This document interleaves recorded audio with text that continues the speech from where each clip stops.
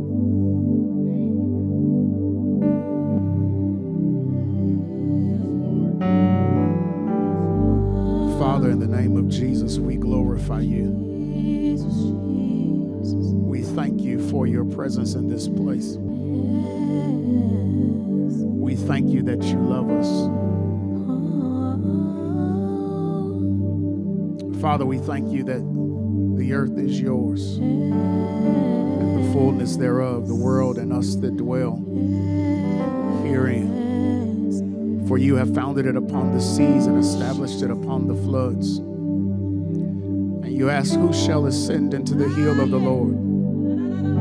But the one that have clean hands and a pure heart, who have not lifted up their soul unto vanity nor sworn deceitfully before idols, they shall see the glory of the Lord. And Lord, this is the generation of us that seek you, that seek your face. We need you, oh God, like never before.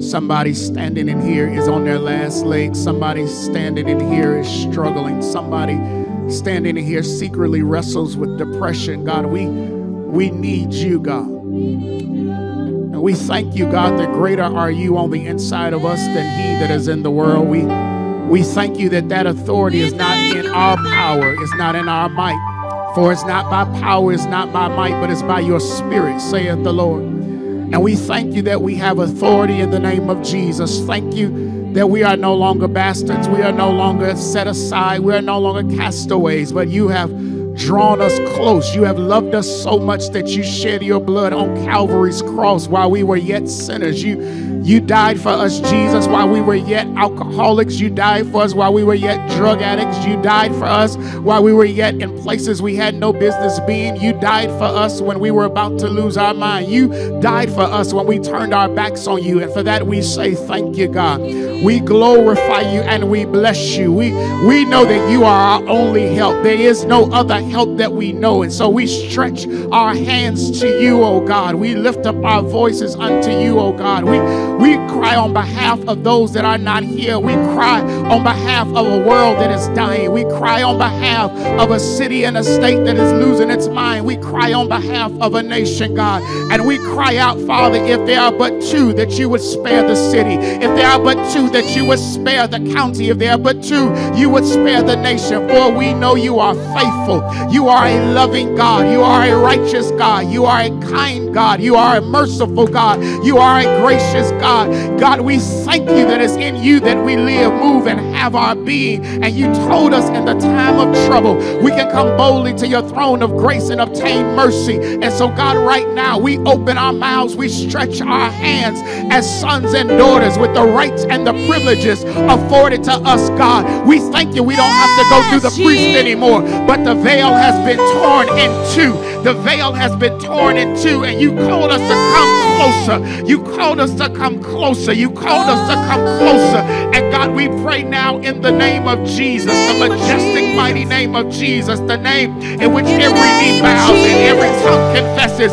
We decree and declare right now that every work of the enemy is quenched. Every work of the enemy is quenched. Every fiery dart is rebuked in the name of Jesus. We come together, touching and agreeing as a church that every warfare tactic is bound in the heavenlies. Right now, in the name of Jesus, we call down demonic altars. We call down every place that the enemy has laid our name, and we shut his mouth right now in the name of Jesus. We command the warring angels of God to be released in the name of Jesus, the healing angels of God to be released in the name of Jesus. Power flow.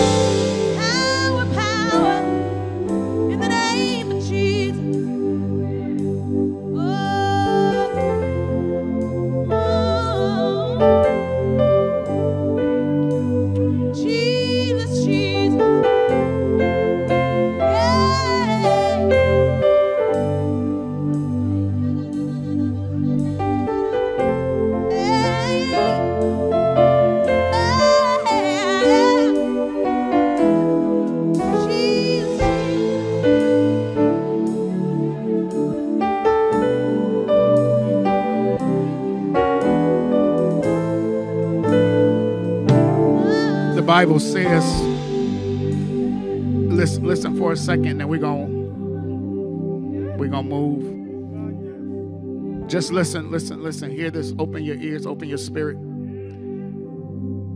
Esther chapter 4. You don't have to turn to it, just listen. Esther chapter 4, verse 11. It says, All the king's servants and the people of the king's provinces know that any man or woman who goes into the inner court to the king who has not been called has but one law that the king put them to death, except the one whom the king holds out the golden scepter, that that person may live. Yet I myself, Esther, have not been called into the king's court 30 days. So they told Mordecai Esther's words. Mordecai told them to answer Esther as such Do not think in your heart that you will escape in the king's palace any more than all the other Jews. For if you remain completely silent at this time, relief and deliverance will arise from somewhere else. But you and your father's house will perish. Yet who knows whether you have come into the kingdom for such a time as this?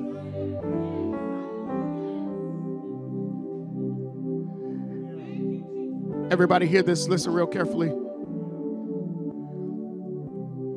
It is no mistake that you are where you are when you are. If you pause for a second and look back over life, how many times have we made choices that should have killed us?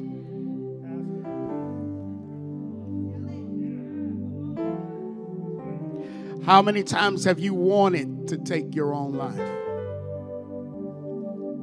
How many times have you tried? How many times did you drink yourself into a stupor? How many times did you use so much just trying to forget? We've been locked up. We've been homeless. We've been depressed. We've been beaten down. So why are you still here? If the enemy comes to kill, steal, and destroy, and the devil has been trying to do that to you since you were born, why has he not succeeded? Could it be You have been called into the kingdom for such a time as this. How did you end up in this church today? How'd you end up in that seat today? Could it be you were called into the kingdom for such a time as this? Everybody, real quick, everyone that is dealing with depression, stand or raise your hand. Don't be ashamed. Just gonna pray for you. Stand, stand, stand. Do me stand. Those of you that are standing for depression, stretch your hands, close your eyes, stretch your hands.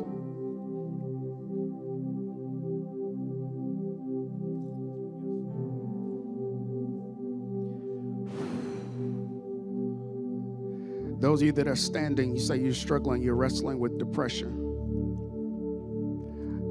Hear this as your eyes are closed. Let me tell you this first. Number one, you're a child of God, you have authority. You have authority. Depression is not simply a psychological, chemical issue, it is partly that, but it's also partly spiritual. So, right now, the Holy Spirit would have us to pray for those of you that are wrestling with it. Stretch your hands, stretch your hands if you can't stand. Those of you that are sitting near somebody who is standing or their hands stretched, if you would just touch their chair, maybe, or ladies, if it's a lady, you can touch her shoulder. Brothers, if it's a brother. Those of you that have overcome depression, especially we're going to pray for them and then we're going to.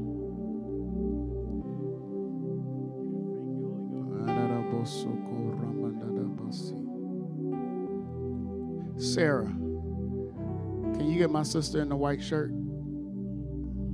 Right here. To your left.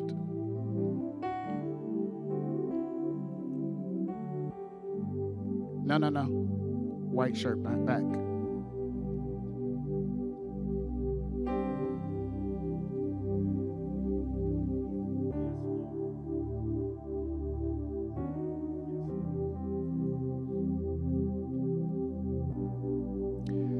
I'm gonna pray for everyone. What's what? Ask what's her name? Yes.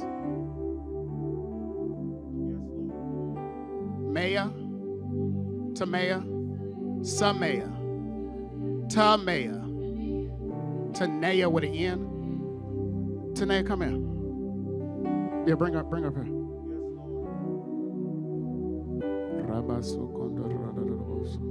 Y'all don't just stay, stay in attitude of worship. Those of you that are struggling with depression, we about to pray. You can stand right there, sister. You good. Today, the Lord says He stopped us for you. Uh, hold on, listen. In these moments, you guys, I need you to just intercede and pray, not necessarily clap, just intercede and pray. Lord says He's going to deliver others that are struggling. But He says He's seen you. He says the things you've wrestled with in the last three months, there's about to be a breaking in your life.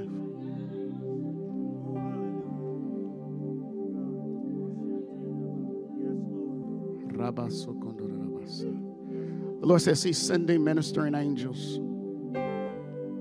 to cover you.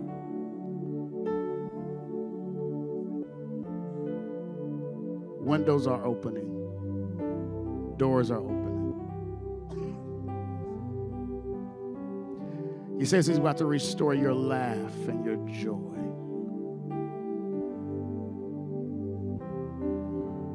And healing is coming.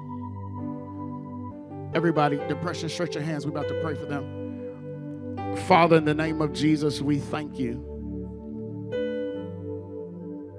that you said where two or three are gathered together in your name, that you will be in the midst. Your word declares that you came that we would have life and life more abundantly. So now, God, in Jesus' name, we thank you that your word never fails, that what you declare for it to do, it does not return void, but it accomplishes what you send for it to do. Lord, I thank you for these that stand, that stretch their hands to be able to say publicly in front of others, hey, I'm struggling with this, this darkness. I'm struggling with these feelings. I'm struggling with feeling alone and isolated. I'm struggling with not wanting to get out the bed. I'm struggling with just being different and feeling off. God, I thank you for the humility to be able to say that. Father, I thank you that you lift up and exalt the humble. I pray now, Father, in Jesus' name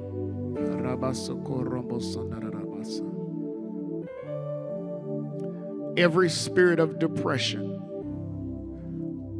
every spirit of sorrow, every demonic spirit of regret and rejection, we call you out now in Jesus' name. We call out every spirit of abuse and everything that is tied to this depression. Father, in the name of Jesus, God, this week open doors for people for them to talk to. Father, thank you this week in the name of Jesus. You're about to turn some situations around. Right now, God, in the name of Jesus, we decree and declare their mind begins to be regulated. We command neurons in them to go back into the places they're supposed to be for things to flow like they're supposed to flow. God, in the name of Jesus, reconnect nerves where they need to be reconnected. Father, in Jesus' name, we thank you for healing in their bodies. We decree and declare as a body of believers, God, that you have the power to do exceeding and abundantly above all that they ask or think. God, now in Jesus' name, turn their mourning into dancing. Father, in the name of Jesus, by this time next week, we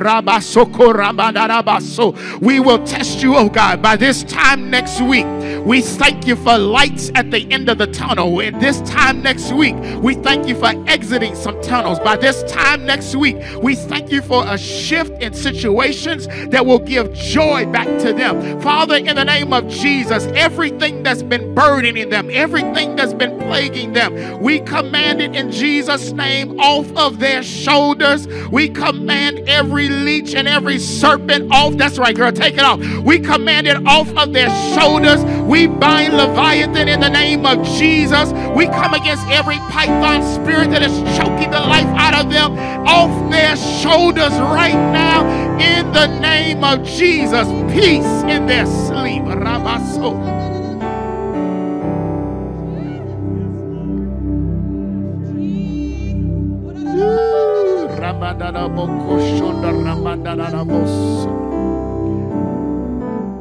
Every demonic curse is canceled in the name of Jesus.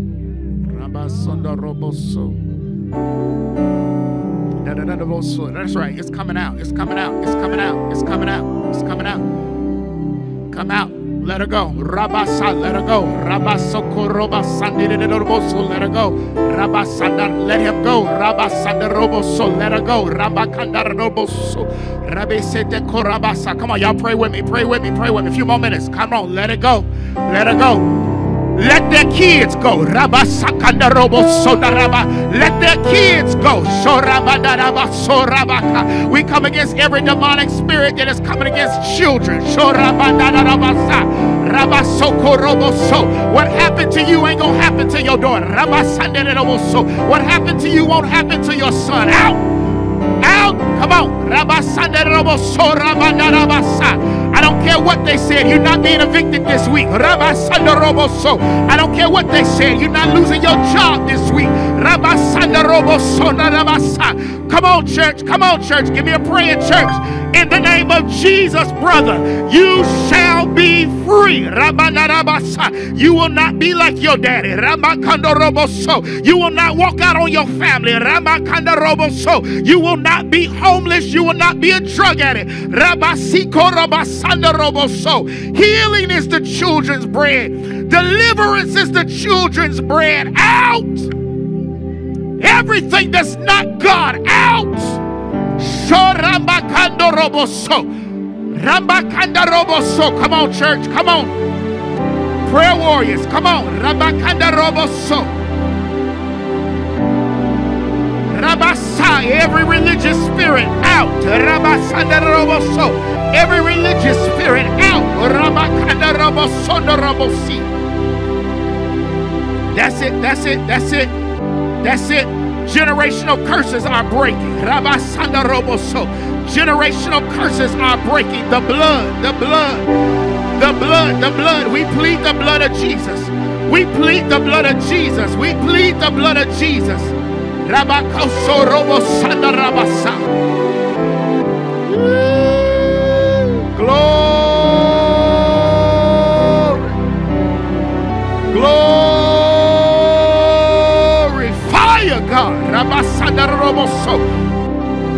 Release your fire in here, God. Holy Spirit, come. Rabasanda Roboso. Holy Spirit, come. Holy Spirit, come.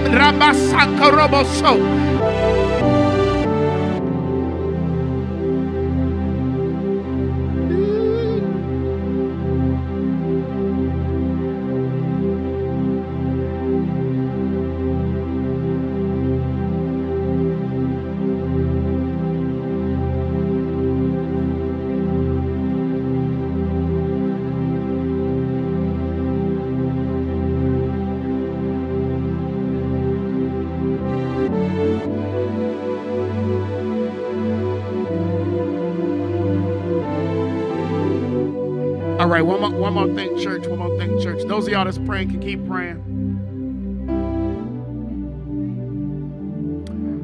Um, everybody, listen, listen, listen, listen. Because I'm about to ask all of you to pray with me.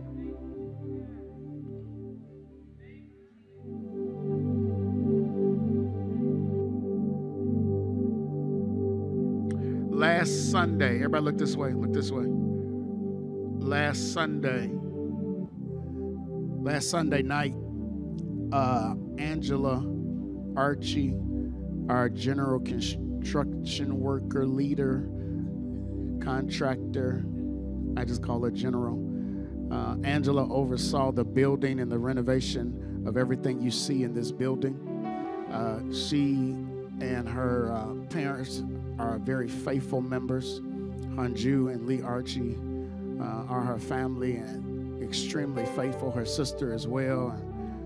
Been part of this church for a long time.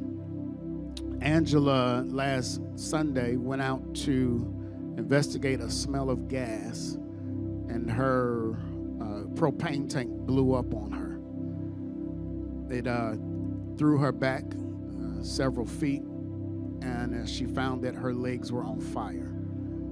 So she has been in the hospital since last Sunday with third degree burns on uh, both legs.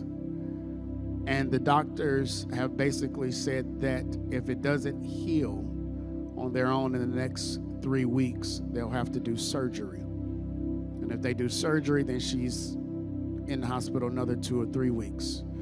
Uh, Angela's income is attached to her ability to work physically. Uh, so, any amount of time that she's in that hospital, she is losing income. And those of you that have never been in the hospital, be grateful. But those of us that have been in hospitals before, you know, after a while, it starts to mess with you. So, the doctor said three weeks it needs to heal. If it doesn't heal in the next two weeks, they'll have to do surgery. And then she'll be there longer. So, how many y'all crazy enough to ask God to heal her in a week? Who wanna who who wanna stretch their faith with me? Everybody that wanna do it, stand to your feet, stand to your feet, stand to your feet.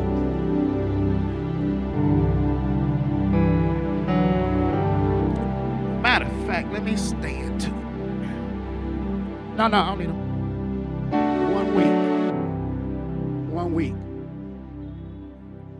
They needed to heal in two weeks. We're asking God seven days.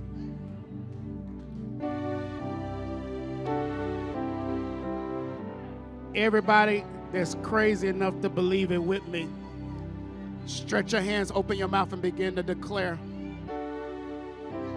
Begin to declare her healing. Come on, open your mouth. In Jesus' name, God, we believe for Angela's healing. We pray for her legs right now. Seven days, God. Rapid healing, seven days. Let the doctors be baffled, seven days. Come on, open your mouth. We command every demonic spirit of infirmity off of her legs right now in the name of Jesus. Not by power, not by might, but by your spirit, oh God. In Jesus' name, we speak to her limbs. We speak to skin cells and white blood cells. We command them to move in the name of Jesus. Restoration in the name of Jesus. Restoration in the name of Jesus. Quickly, suddenly, now quickly, suddenly now, quickly, suddenly now, even right now, God, in Jesus' name, let her feel her limbs begin to get power. Let her begin to see skin growing back. Father, in Jesus' name, we thank you for what you're about to do. Seven days, seven days, seven days, seven days, seven days. We count it done in the name of Jesus. If you believe it, give God a shout of praise.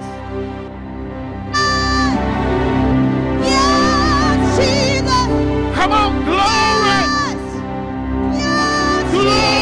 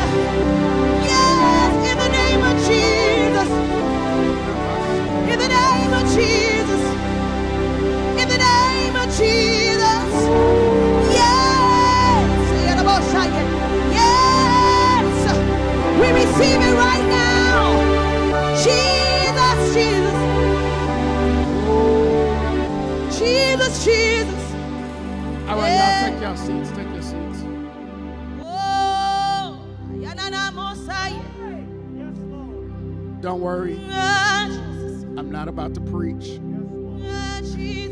so we don't still have an hour to go. Y'all, let's thank God for our praise team.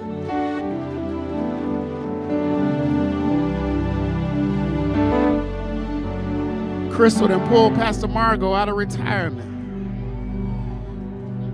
You see the stuff that says impact all over the building. Um, I want to share some stuff with you guys on today, and uh, it won't it won't be long. Um, the Holy Spirit knows how to work stuff out, cause uh, He does what He does. Those of you visiting with us, let me say this, and those of you that are here, you ain't been here in a while.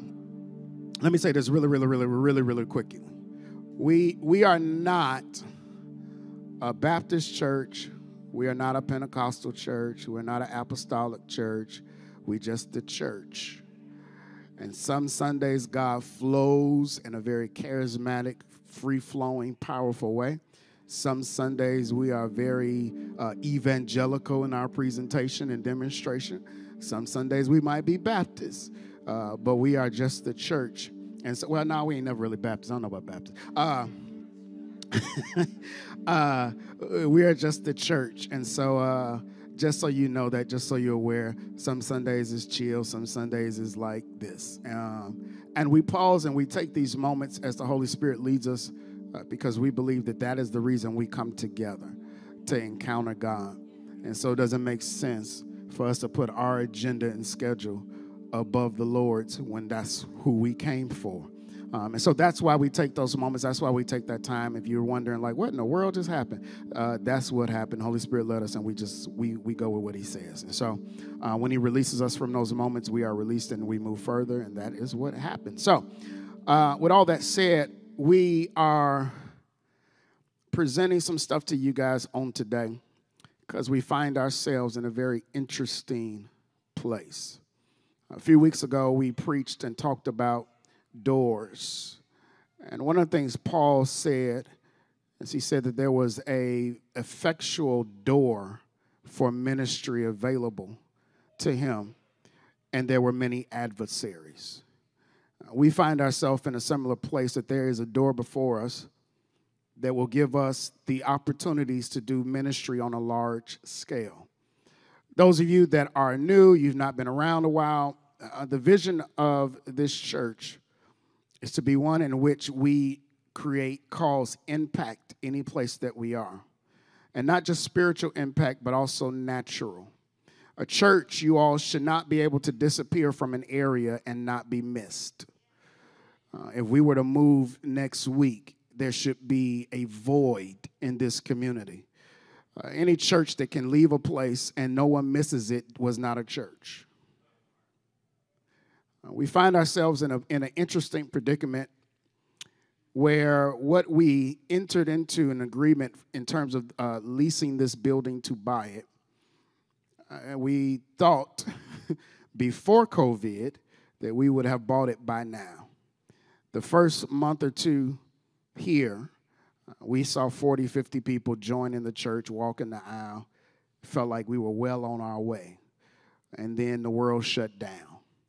Uh, after the world shut down, nothing has been the same since. All y'all know that. You still feel it. Some y'all still got masks on. Some still sit six feet apart. Uh, some of us lost relatives and friends. The world is not the same.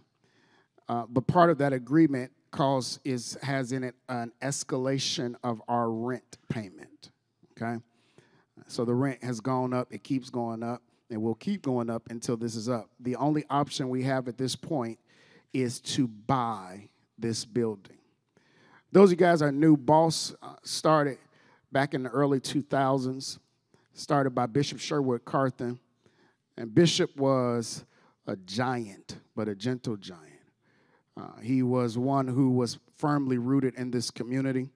He is one that served both community and police. Tremendous man of God, and then he passed suddenly. After his sudden passing, this church went years without a pastor. Uh, those y'all don't know how I ended up here. I was minding my own business in Chicago. and uh, the Lord began to push me to plant churches. And I was working with the denomination that we are part of to begin to plant churches. And they said, hey, there's a church in Sacramento that still doesn't have a pastor. Would you be interested? And y'all know me by now. I'm laid back. I said, yeah, sure. If they, you know, they say yeah, cool. If they say no, cool. Um, they called me. Sharon, who was our board chair at that time and part of the search team, called me like in 10 minutes and said, "Hey, how you doing?" I talked to her for 45 minutes, and I talked to somebody else for another hour, and that was in May of 2016. By November of 2016, I was pastor of the church. God moved. Thank you, you, you 15 people. Uh, God moved suddenly, God moved quickly. I did not know what I was walking into there. You guys heard me say this a couple of times before. Uh, one, I thought Sacramento was LA. So well, I'm flying over hay and hay bales and open gold fields. I'm like, I think the plane went the wrong way. Where we at? Uh, and then the other thing is, I didn't know. I didn't know the church I was getting. I, you know, I'm like, okay, a church without a pastor for years, it's gonna be like 12 people in here. Um, and the church was still, our church was still alive, still pretty much doing okay. Amen. Give yourself a hand. And we had about three, 300 or so people when I, when I got here that first November 2016. A year later, we had grown. We were averaging about 16, 1700 people a Sunday. And I'm like, we on our way. We about to be on. It's about to be on and popping. Uh, And then we started digging in deeper and digging in deeper, and we just started. People's, you know, some people's like, "Oh, he preached too loud." Some people's like, "Oh, service too long." Some people's like, "I don't want to do all that." I mean, it just it was a varies. It's just a number of reasons. Some it was, "Oh, he's not like Bishop," and so you have these transitions, and always in transition, you're going to lose something. Let me say that again. You will always lose something in any transition. So keep that in mind while you're trying to hold on to stuff. It may be the you holding on to it is keeping you from transitioning. Uh, and so God just began to prune us and prune us and prune us and prune us. And I'm like, when are you gonna stop pruning? God, this is this is a lot of pruning. But you guys, we are still here. Amen. Amen. Not only we still here you all, but let me encourage you in this. I've had the opportunity to preach many churches across the country since the pandemic ended. And we've had several preachers and pastors that have come through since the pandemic ended. And we are still one of the largest in person attending majority black churches in the country. Oh, y'all can do better than that. That's a that's a that's saying something.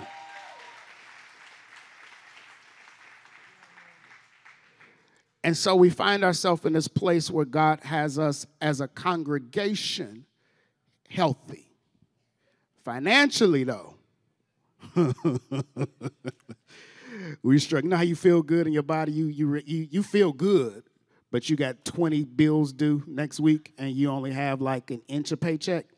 Um, and so, through all of that, you guys, we have, watch this, consistently served our church has been known for serving the community. Our church has always served the community. We, at one point, served all first responders. We fed the homeless. We sheltered the homeless. They stay. They used to stay in our building for a week.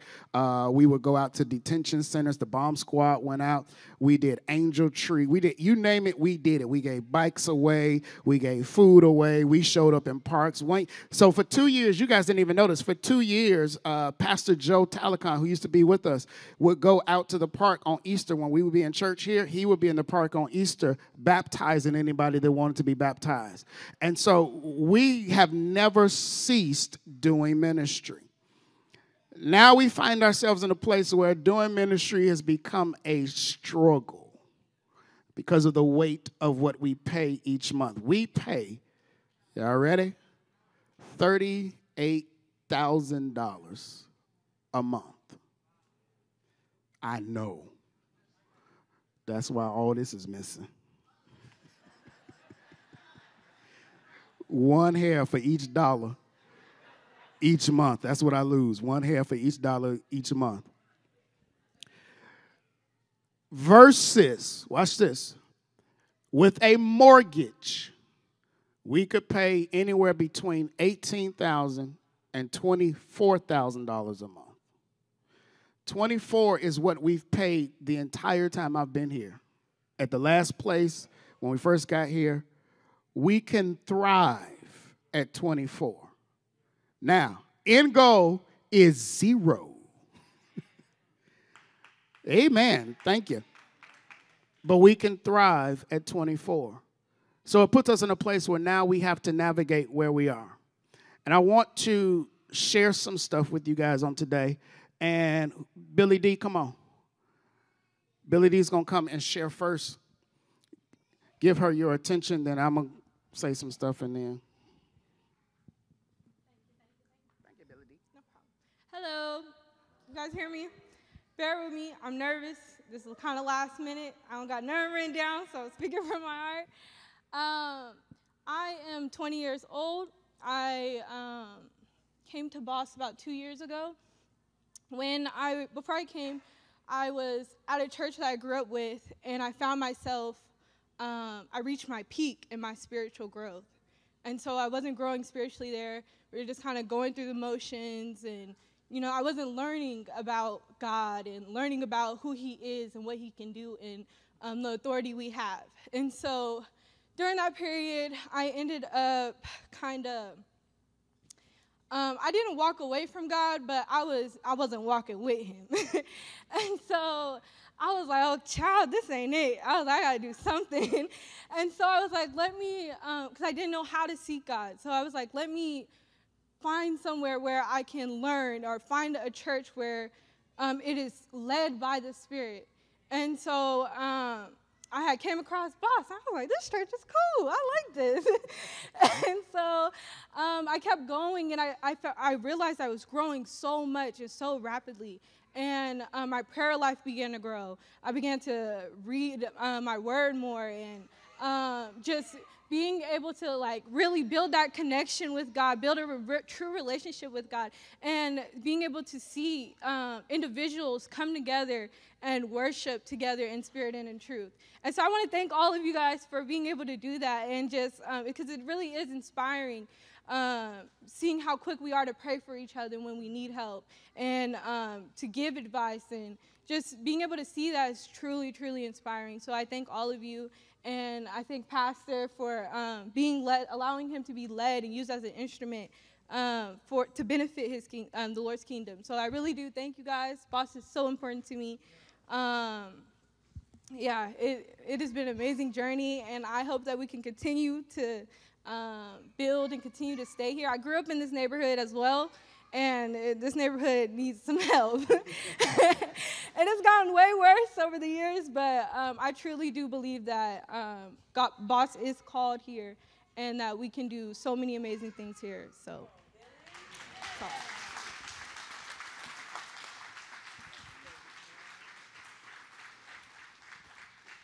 Do me a favor, write this down. Pens and paper, write this down real quick first thing is we exist so others can see. The church that exists so others can see.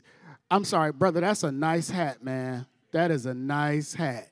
Uh, put it back on for a second. Let me see the hat. This hat is just nice. Woo, that's a nice hat, brother. Bless you, man.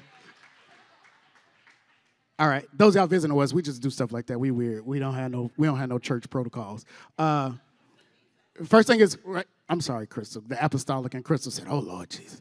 Uh, first thing, write it down. We exist so others can see. We exist so others can see. Come on, who's next? Ricky. I always want to be like Ricky.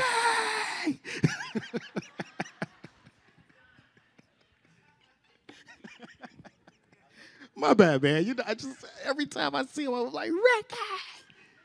Why would you run straight down an alley and not zig? Okay, I'm sorry. I'm off. I'm off. I'm sorry. Go ahead. The way I feel, I can run any down, run down any one of these aisles right now, if you wanted me to. But right. So I get an interesting text message yesterday, out of nowhere. Right. I'm sure most of us have gotten that text message, like, not who this is, but why is this? Right? And first of all, I love Boss. Like the sister said before, Boss came at a very, very critical time in my life. I've been part of Boss now for 13 years. Appreciate that, appreciate that. But it took nine of those years to figure out how to serve. And the cool part about it is that the blueprint was always there. I came to Boss because of the community aspect for what it meant to the community and what the church and the people did for the community. You know, oftentimes in life, some of us, I'm gonna blame me, you know, we want that, we want to be that guy, that person, the one that has the star, starlight and the shine. But for whatever reason, God told me some days, yesterday, this morning, five minutes ago, two minutes ago, that's, that's, that's not what you built for. Sometimes you built just to do the hard things in life. And I've had to learn to accept that in my life. But I understood that it was because God gave me the strength to do it, that it was my purpose. It became my purpose. And because sometimes a lot of people don't want to do the hard things, God has a strange way of just knocking on my door all the time, just being like, say, bro, I need something, need something for you to do. And oftentimes I'll run away because that's how I feel most of the time. But when I look back and I think about all that He has saved me from, yeah. I can never repay Him for what He's done for me, my family. And I'm sure a lot of you out there are the same. But boss means life to me. I come here weekly. Most of you don't know and it's funny how it happened because when I was looking for God, he ultimately showed up and basically gave me the keys to his house. So when you guys aren't here, if they could show it on the cameras, I'd be up here wrestling and me and God be having it out, y'all. And it's more than just why. It'd be like, can I go? I'm ready to go, Lord. No more, no more. But sometimes, uh, and I'll, I'll just leave this with you all. My great grandmother, I never met her, but she left something as a legacy to me and my family. And it's something that I've lived on and lived for moving forward, and I pray that I can pass down one day to my own. And her saying was simply, Lord, yes, Lord, others, let this my motto be. And, boss, as I stand here before you, I am gratefully gracious to Bishop, to Pastor, to Margot, to Eli, Fab, my brothers, my sisters in the faith.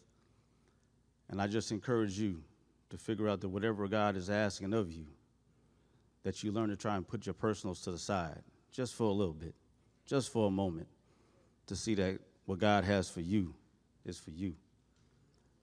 Thank you, boss. Thank you, Pastor. Thank you, church. Love you.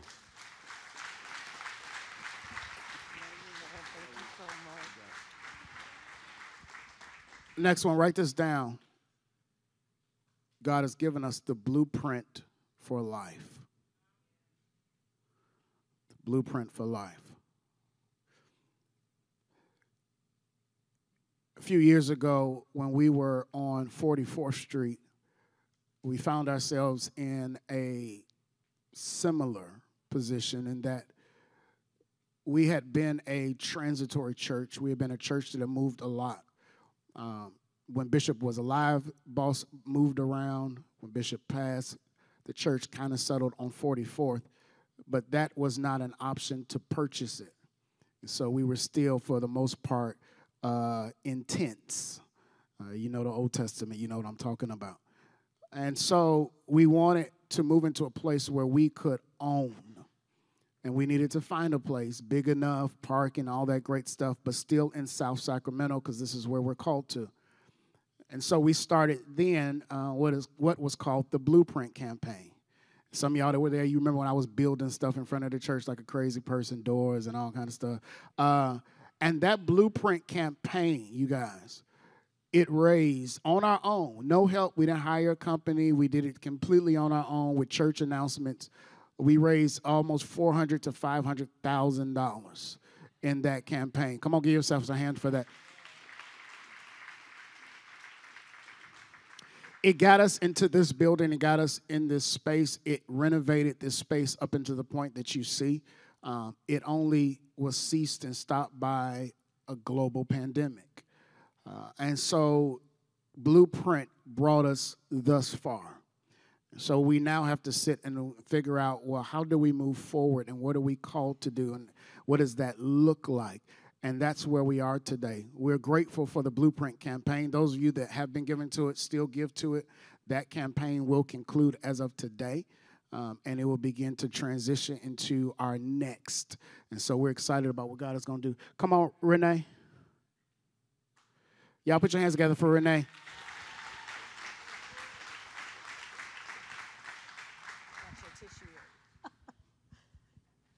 She has my tissue because I'm a crier, but I'm gonna try to hold it together. I'm gonna be a big girl. My Oh, granddaughter. hold on, yeah. Come stand next to her. I don't. You got that funeral voice like you to gonna go long. Stand here right next to her. No, he's right. So I know. I love you too. That's why she's standing right there. Go ahead. No, when Margot texted me, my first response was uh-uh in my head. But where I am right now, and I'll I'll end with that. But the Holy Spirit just told me, "Oh yes, you will." And and it's it shocked her because I responded yes without the no first. And so of course, I'm the kind of person that just starts analyzing. Now I got to do overkill because I'm extremely analytical. And I begin to write everything down. I went back over the years. I've been here for four years, so I'm kind of a newbie, but I'm not. And I just looked at what God had done in these past four years. And I began to write everything down. And then I was looking at scripture. And then I said, Pastor I ain't going to have to preach because I'm a, I'm a preach today. But I'm not going to stay long because I told her two minutes. But I'll tell you what he's done for my life since I've been here. Um, I had moved away. I, I, I came here in 1961 with my family. But in the last eight years, I moved away in 2014. And it was for a purpose. And I always watch what God is doing. And it was a purpose because He set me apart. He took me away from my family, He took me away from everybody. And there was nobody in Florida but me. No other family. I mean, when I say I got 5,000 people that I'm related to, nobody was in Florida. But when the time came, He brought me back. And I'm not one to really search go, I don't church hop. My daddy was a preacher. I'm, so I didn't church hop. The Holy Spirit brought me here. And so I'll tell you my first impression oh man, he's too young. Off the top. And so I sat and I listened. I listened for about four months. But then, as he mentioned everything that I I know to participate, okay? Because you can't get yours if you don't put something in. You cannot. And I come here because I like to sit in the front because I don't like to know what's going on behind me. People say, Did you say? Nope. I came here to get mine. And, and that's what boss means to me, is because I, this is my filling station pandemic was rough on me. But I was sitting at my table every Sunday or whatever and doing praise till I found out that that wasn't even live, and I was upset. I started doing church You ain't when supposed I to tell to. that. You told me. Somebody told told, you me. to- oh, I'm sorry. but any, anyway, I finally committed after a few months. And it was like, okay, what's my purse? But but I I took food to the homeless. I, we had a let the homeless come and stay in here in January. I said, oh, that's impressive because I'm a doer, and but I'm not a visionary. And then one time he said, You guys do this and let's set it up in 30 places. And I said, He has lost his mind. but he's a visionary, and I like that because it gives me something to do. So I had retired when I came back here, and so I realized I'm going to be bored to death. I am, and I've got to do something. Well, there's so many stories that I can tell you that this church, this body, and I'm going to tell you why I'm really here, is because I can look at this audience and see how many people that I have met and how many people, whether you know it or not, have poured into my life just saying hello, just saying, hey, girl, hey, let's do lunch sometime, or whatever I had to connect with you with, you're pouring into my life. And I knew I had to give back. And so I participated in just about everything, and I said, I got to find my niche. And so I call him up and I tell him, okay, this is wh- who I am, whatever. He said, don't nobody care about that. And I said, those were his words, and it, but it freed me. It freed me. You have no idea, because my upbringing was rigid. And so, with that said, I just begin to see the liberties and the freedoms and the people because I, could- my brother has a church up street. I could be with family, but it's comfortable.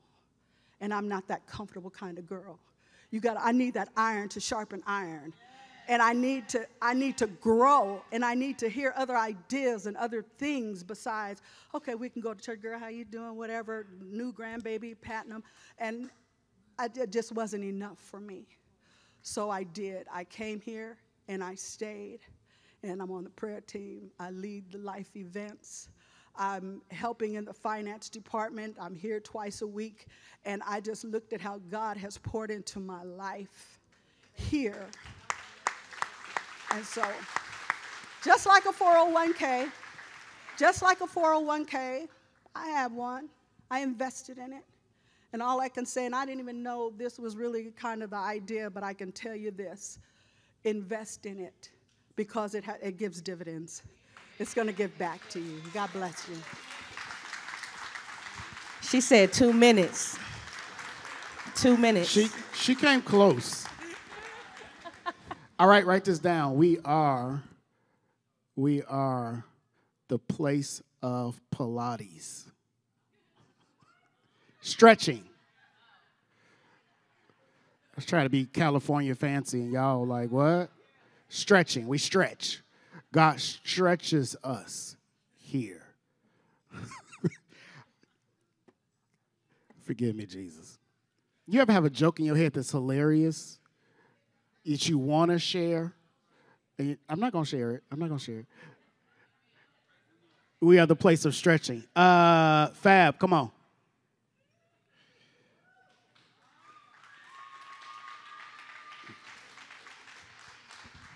Good morning, boss. Lou Rawls. So Pastor Darryl talked about some, some things earlier, and it so resonated with what I, has, I have to say today. Um, I gave a title to what I want to share today, and uh, it is titled, I Am Where I'm Supposed to Be. I am where God wants me to be.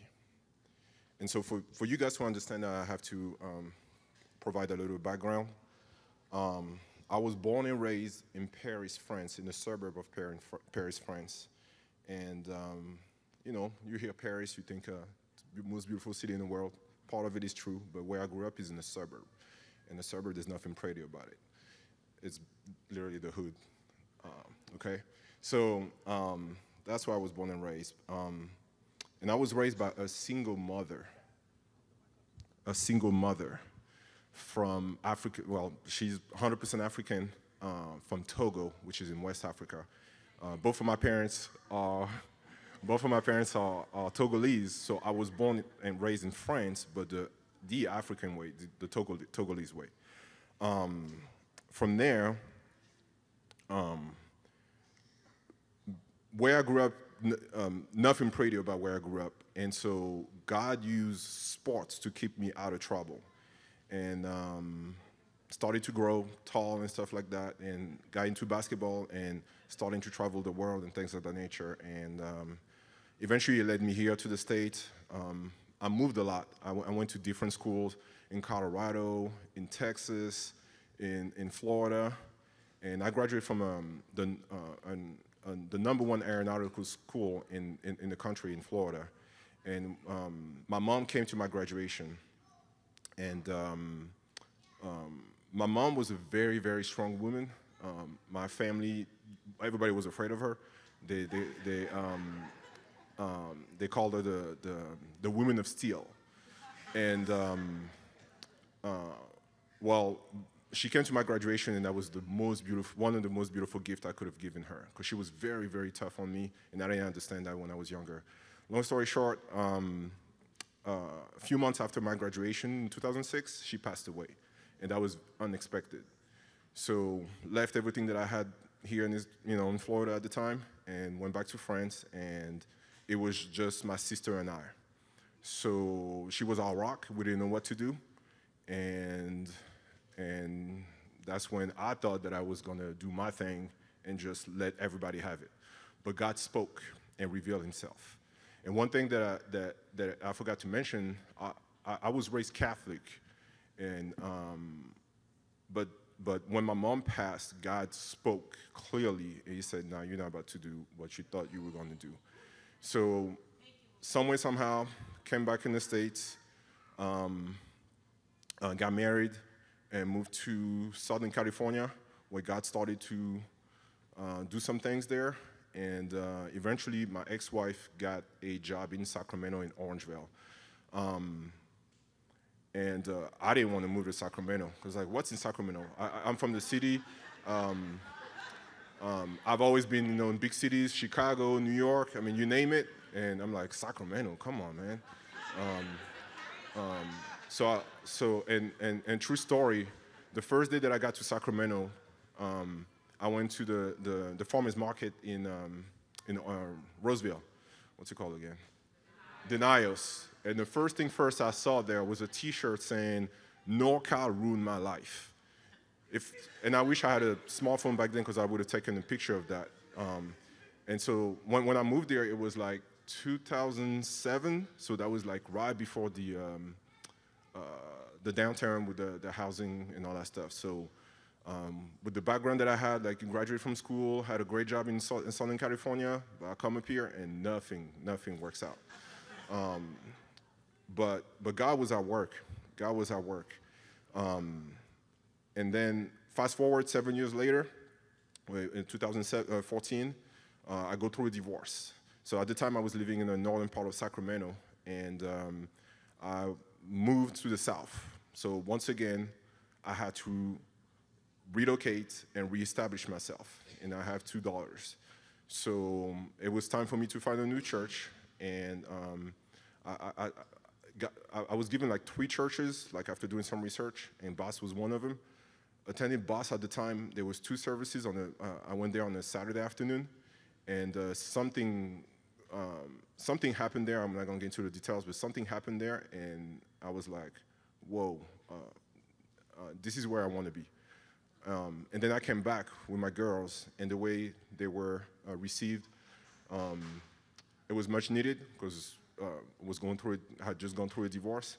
Um, so shout out to Miss Yvette at the time who was running the um, the children ministry, and Miss uh, Jean, who's a, you know she's over there busy.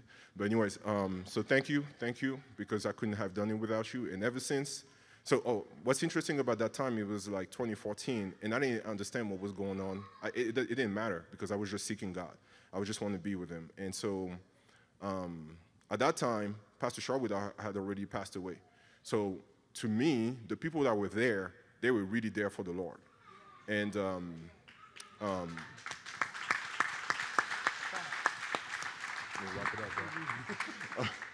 um, so, um, um, and, and, and, and I think I think it had been like a couple of years after the fact. You know, we were, there was that team that was searching for a, pa- a senior pastor, and um, and so for me, from my, my, my, my perspective, from from I got to see this guy showing up, and um, it, it, it's it's it's definitely he's definitely sent by God. And from there, you know, God started to use me. And um, I thought that all the things that I've been exposed to in my life, uh, ever since I've been in the States, that I was going to take it back in my neighborhood because my neighborhood resembles a lot like South Sacramento. Um, so I, the, my thought was that, yeah, one day I'm going to go back, but he revealed to me that this is where I'm supposed to be and this is where I'm supposed to give back.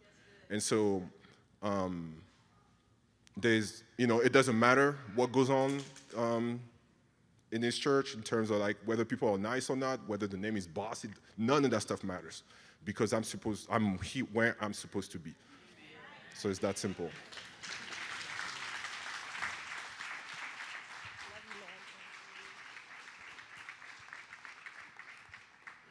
And then Mike, brother Mike, come on. We're going straight through.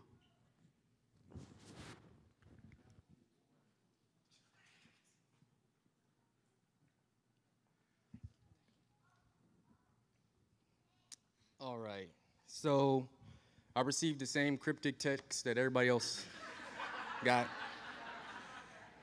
And honestly, this is the first time, and, and Pastor Margot could probably tell you, it's the first time that I said yes without no qualifications. Normally, I'm like, because normally I'm like, hey, you know what, I need 24 hours to think about it. Um, what's the time? What's the duration? What's the location? Like, I need everything because I'm looking for a way to be like, nope, can't do that one thing. That one thing. Oh, you said I need to have great shoes on? Nope, can't do it.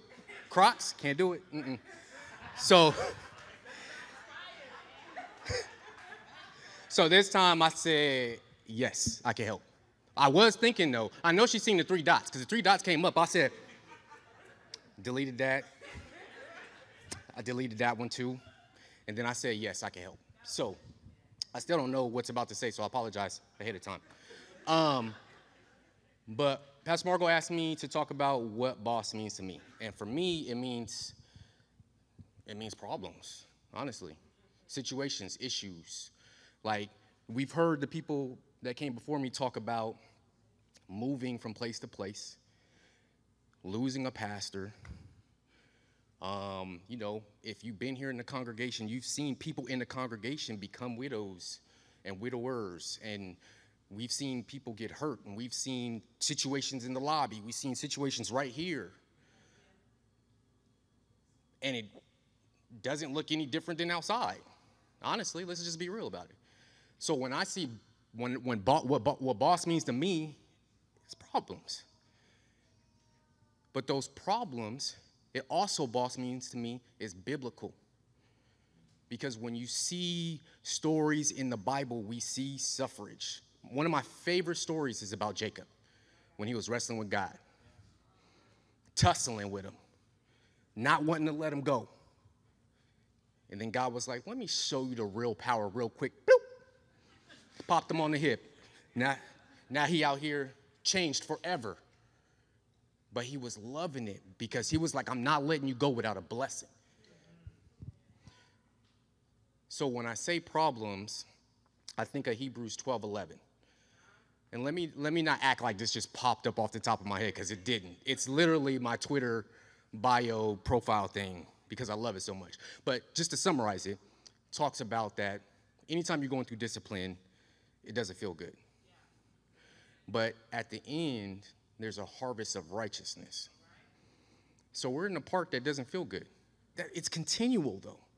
We're constantly in the part that doesn't feel good until it feels good.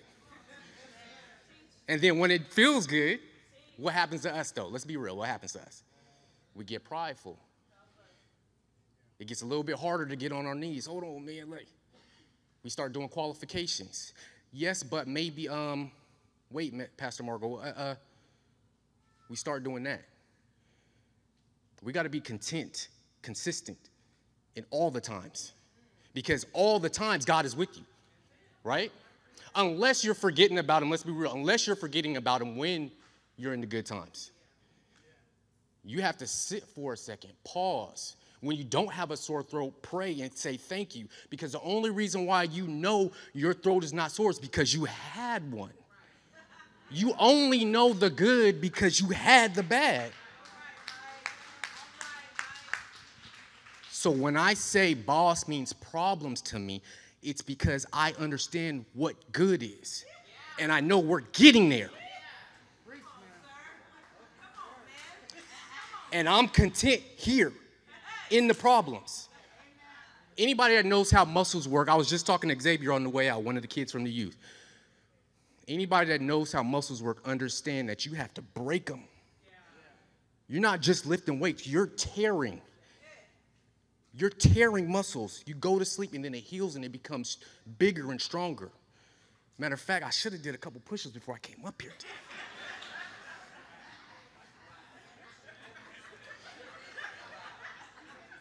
It's a missed opportunity. Okay, okay. So, anyways, what it means to me is that I know Miss Renee was saying she got family down the street, but you got family here. I have family here. So, what it means to me is that I'm here with my family, we grow and we getting stronger, and then we get to that next phase. Thank you.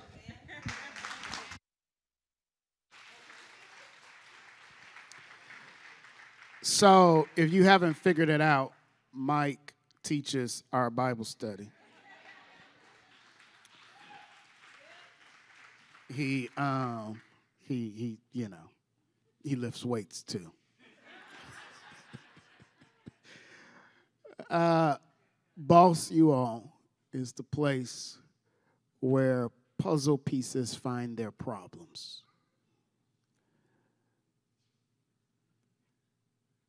one of the things that is unique about us is that many of you, if you're honest, when you came to Boss, you found a problem, or your problem found you. One of the greatest gifts God can give us is to give us our problem. Because your purpose and His glory is on the other side of it. This is our problem. So as we, as a church, stare our problem in the face, we know our God is greater. I believe, boss, wholeheartedly. There are so many more of you that can share so many stories of how God has used this church to bless you. We cannot hoard testimonies. There's a whole community around us that if we be the church we're supposed to be, we'll see thousands of people who will be able to stand in front of this church on the street corner in Walmart and say, God used his church called Boss to change my life. To do that, we need to anchor here. And here we have to anchor in South Sacramento, but we believe God has called us to this place. And He's done that to make an impact. Because of that, we're going to begin a new thing in our lives, another campaign. This campaign, you guys, they are passing out now information for it. What it is, really briefly, look this way, look this way. They'll hand it to you. We have submitted an offer to the owner of this property, very creative one, to purchase it. We are praying for him. His name is Ethan Conrad. Y'all want to pray for him? You can pray for him. We're waiting for his response. Our denomination, the covenant denomination, is has agreed at this point to give us the loan we need to buy the property. Amen. However, we have a part to play. In the next 90 days, or 90 days, when is December? That's three months, roughly, yeah. As a church, hear this. Everybody look this way, listen carefully. In the next 90 or so days, by December, we need to raise $250,000 cash. Easy money. Easy money. Now, here, listen to, listen to this. Campaigns, you guys, I know some of you have trauma stories about church campaigns. That little red thermometer that don't never move on the wall has been stuck. If you go back to that church right now, your home church, that thermometer is still in the same place. I know y'all got traumas. I know you got fears. But one of the things I want you to understand is that we believe in accountability, we believe in uh, transparency um, as much as legally possible and wise. And so, as we dig into this, I know many of you have questions and you're like, well, what about this? And what do we do with this? And what do we do with that? We will have an annual meeting that we missed the last couple of years because of COVID that will restart uh, until then, Lynn, can you stand, Lynn? Actually, Lynn, can you come up here? Quickly. I know, my bad. I'm sorry. I, you clapping, they don't know who she is yet. Lynn, you all is the chair of our board. So the way our church is structured, um, I am I am not the the king right? We, we have a little parliament kind of thing going on. And so our board uh, makes large decisions with me, but they, all, they also bounce back and forth, all right? So I'm their accountability, they're my accountability, right? So don't nobody go crazy. Lynn is the chair of our board. Now, amen.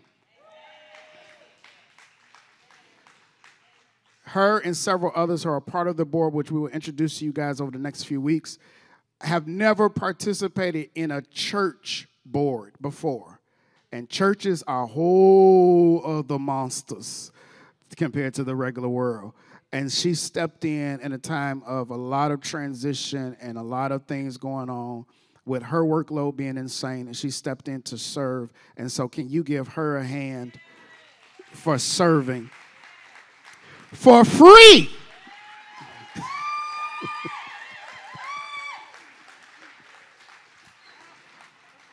so I dragged her up here to make her red in the face so that you all could see her. And so if you have any questions about finances and all that stuff, how we spent money, what the budget is, blah, blah, blah, blah, blah, ask Lynn, all right? Lynn will be able to set up. Listen, she ain't gonna answer you right then. She can set up an appointment with you and sit down with you, her and Hanju and some others, and walk you through where money's been spent and why. Okay? Uh, thank you, Lynn.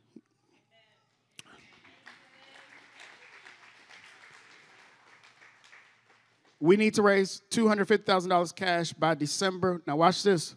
And we need to get to 800,000 in two years. Okay? What this money is for, the $250,000, will, should the owner say yes, we believe he will. The denomination says what they're going to do, we believe they will. That is the portion we have to pay as our down payment to buy the building. right? The money, the other 600,000 over the next uh, two years, right? That fulfills our obligation on part of that loan. Watch this. And the other part is it allows us to complete this facility. We will have doors.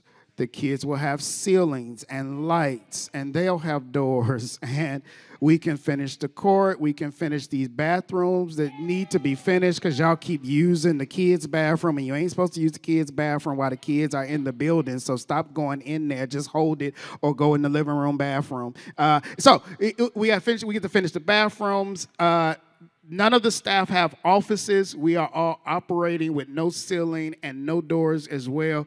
It allows us to finish. Now, let me explain to you guys the impact of completing the building, owning the building. Purchasing this building frees up enough resources that we can go back to doing the large scale ministry we're used to we can hire critical people who will help this church continue to grow and to thrive. Some of y'all, all y'all been like, communication, pastor, communication, we don't know this we don't know. That.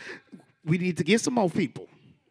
That allows us to do that. It allows us to fix many holes. It allows us to strengthen our youth and children and young adult ministry.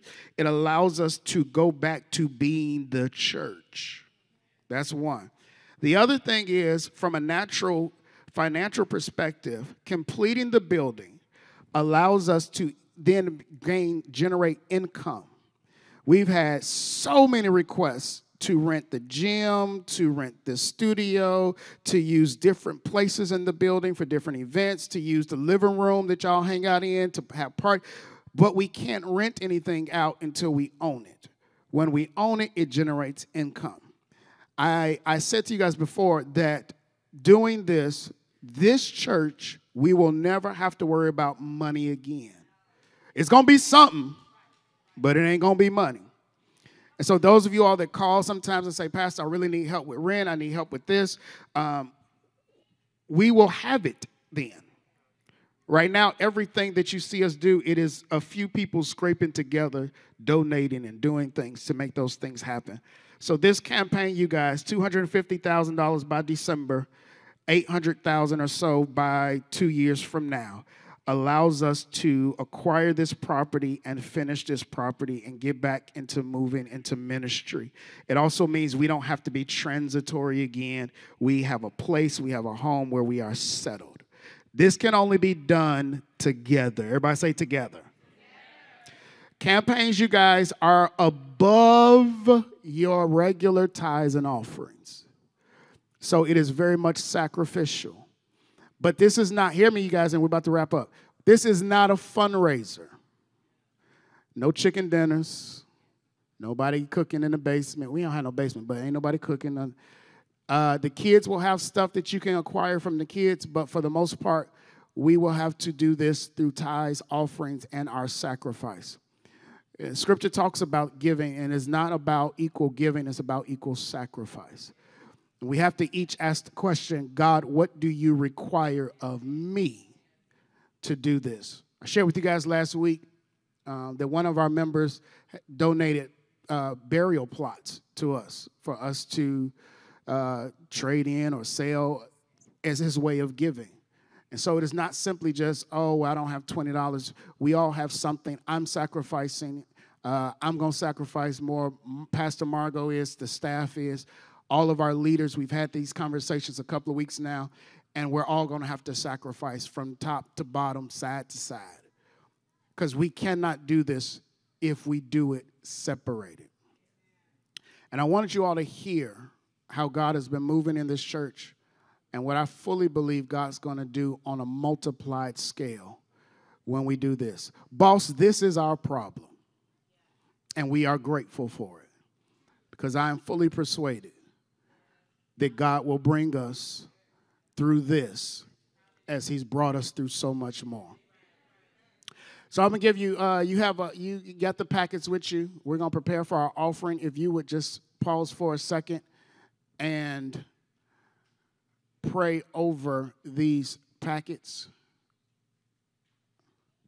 right where you are as individuals just just hold that packet in your hand and say a prayer and be open to what the lord will have you to give. We will talk more about it next week. Next week will be more normal sunday we'll be preaching and worship um, and we will hear what the Lord has to say in the next few weeks.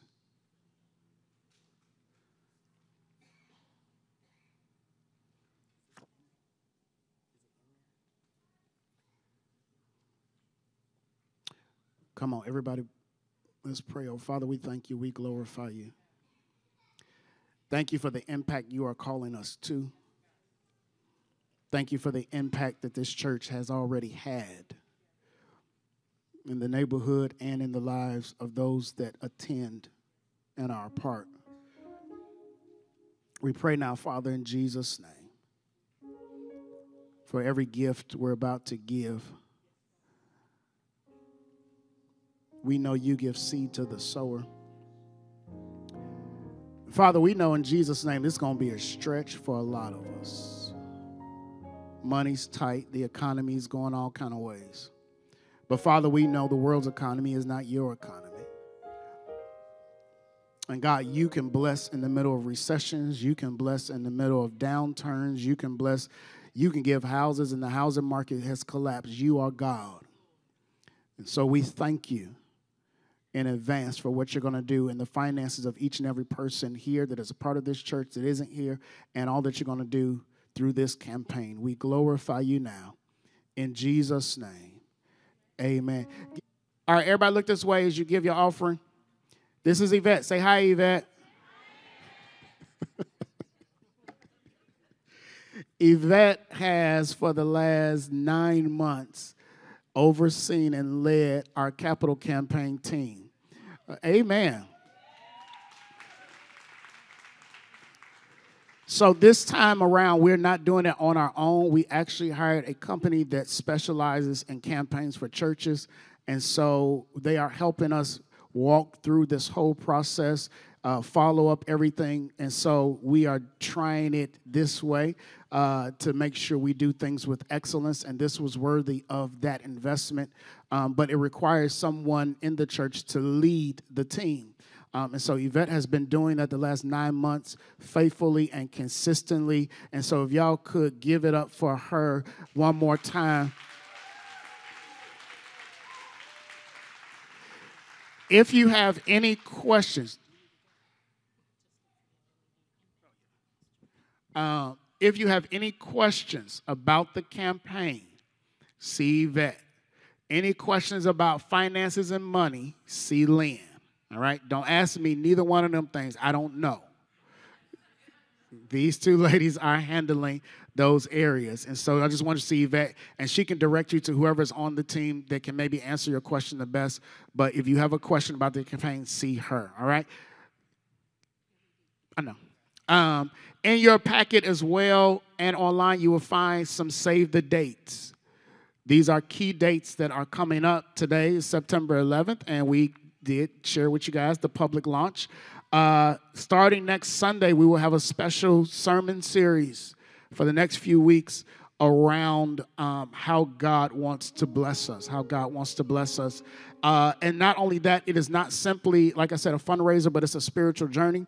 And so there will be scriptures and fasting and times of prayer throughout the week, each day that will accompany this. We're not fundraising, all right? We are sacrificing for God's kingdom by sowing into his kingdom, and we will watch as God sows back into our lives and he does what he's going to do. Uh, and then October 6th, all the leaders, we will come together to make our commitments. And then on Sunday, October 9th, we will all come together as a church and we will give our commitments. Now, the commitment is simply this you're going to go home and pray about what you can pledge or give over the next two years. All right?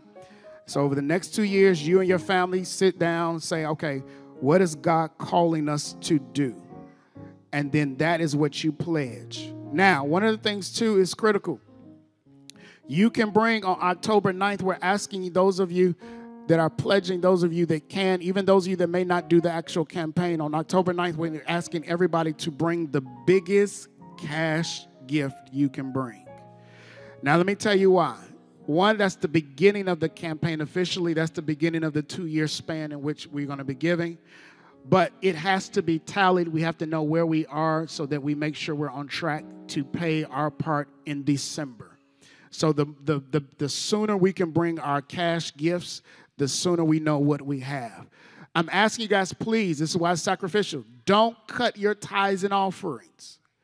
Tithes and offerings help with the operations. So your tithe and your offering goes to operations that keeps the lights on, all that great stuff. This campaign only goes to the acquisition and the completion of this building. All right. Legally, that's all we can do with it. So if you write camp, if you write impact campaign on it, we cannot use that money to pay SMUD. It has to go towards acquiring and completing this building. So that's where we are. Look what God has done. It has been a wild, wild journey. Over the last couple of years, we have moved locations. We moved into a place that we were looking to just buy and jump on and move forward and see what God would do. And then pandemic hit, shelter in place, and the world changed. But even through all of that, the tragedy, the pain, the trauma, the Lord has been so faithful to us, and you all have been faithful givers. You have been faithful tithers. You've been faithful in serving. And it has allowed us to transform what was once an open, empty space to a place that even our kids can begin to have begun to use basketball courts that we've had NBA players practicing on, and our sanctuary, which ain't quite done, but is moving in that direction. But now we're at a turning point in which we need to move forward. So, with that, you guys, we're going to begin a new campaign called the Impact Campaign. This campaign will be to move us further into the next stage of ministry. It would be to put us in a place where we own this property so that it can be what God has called us to be, but also allow us to free up much needed uh, resources to expand ministry and do greater work within the earth. Be prayerful about this season as you begin to hear more information about this campaign, about how you can be a blessing, how God is calling you to sacrifice over and above your normal to see what God will do. I promise you, God's going to bless you just as God's going to bless this church. I love you so much. Look for more information soon. Peace.